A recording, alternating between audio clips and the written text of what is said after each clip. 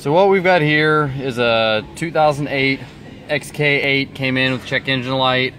Uh, vehicle's running pretty good right now.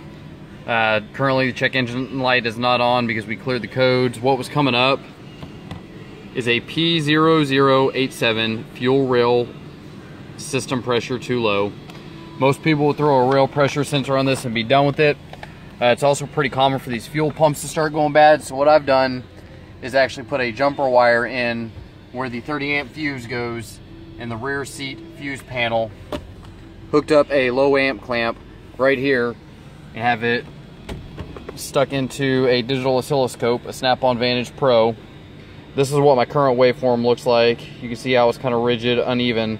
This is actually what the known good waveform is supposed to look like. Nice even peaks across everything. So what you can tell by this is the commutators are actually wearing out and drawing too much current and as they're overheating they're starting to shut themselves off. So unfortunately this vehicle is going to need a fuel pump.